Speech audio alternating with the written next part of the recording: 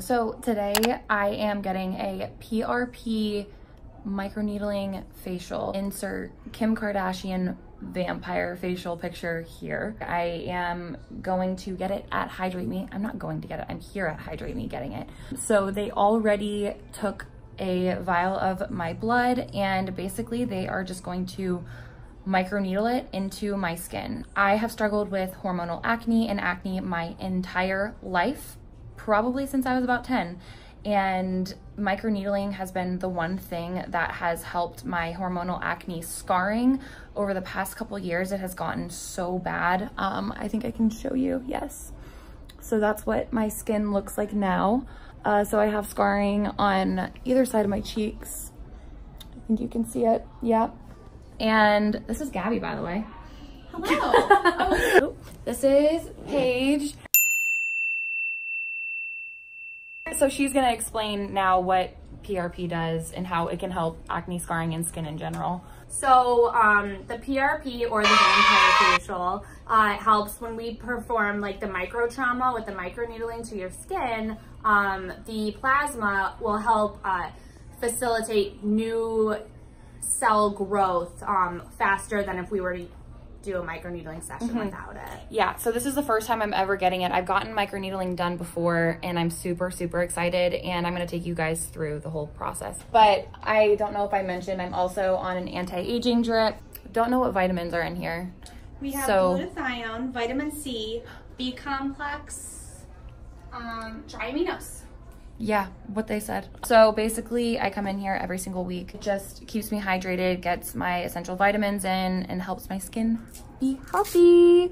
She just is putting the numbing cream on my face right now so that it doesn't hurt when she pokes the needles in my face.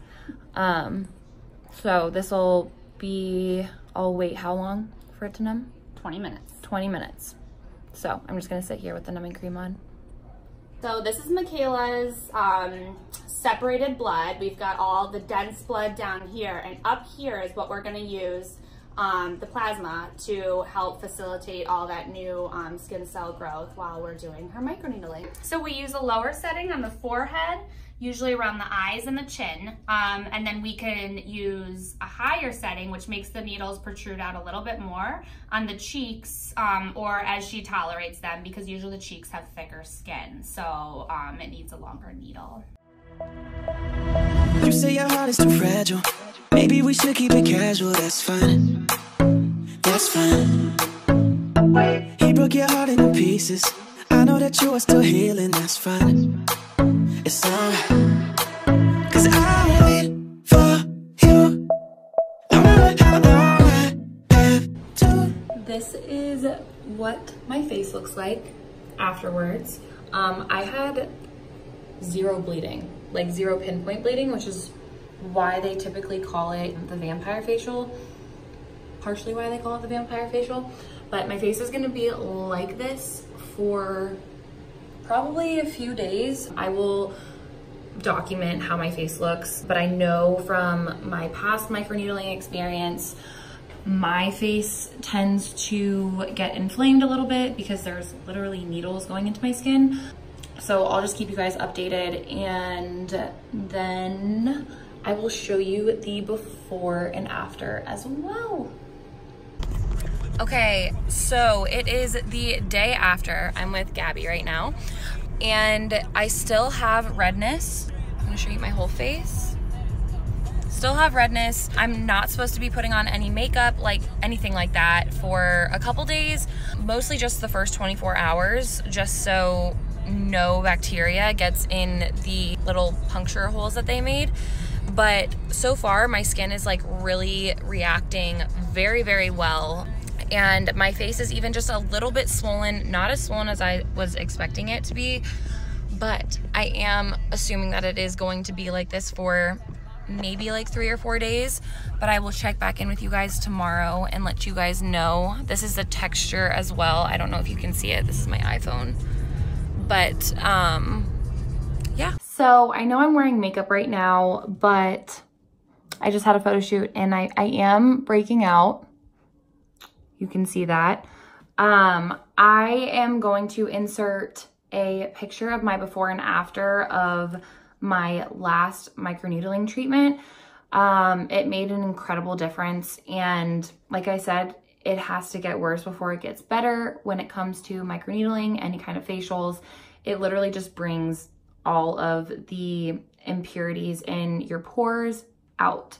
So to end this video, I wanted to give you guys my skincare products that have helped my acne so much. Like I have tried pretty much every skincare line for acne prone skin out on the market. I've tried medication. I'm actually still on medication, but this has helped with the texture of my skin and just bring vibrancy, if that makes sense, to my skin again, because for a while it was just very dull and you could see it.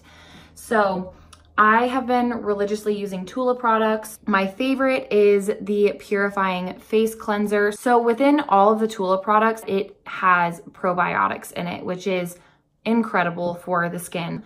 The Purifying Facial Cleanser, a part of my every single day routine. I wash my face in the morning and at night with it. And depending on what my skin is doing, um, if I already have more oily skin during the day, then I will use this moisturizer. It is the Aqua Infusion Oil-Free Gel Cream. That being said, if I wake up and my skin is very dry and it needs moisture, I will use the day and night cream. I don't have it. I actually ran out. Um, I need to order a new one, but I will leave a picture right here. That's an essential as well. This mask is my absolute favorite. It's the exfoliating mask. Incredible. All you do is leave it on for five minutes. Then you wash it off and um, you have to wash it off for a period of, what is it? one minute. So just making sure that you're exfoliating the skin as you're washing it off. And then I also live by their glycolic acid. So these are the products that I religiously use. If you want, I do have links below. Let me know what you guys think about this video, about the PRP facial, and I cannot wait to see you guys in the next video. Make sure and hit that subscribe button. Bye guys.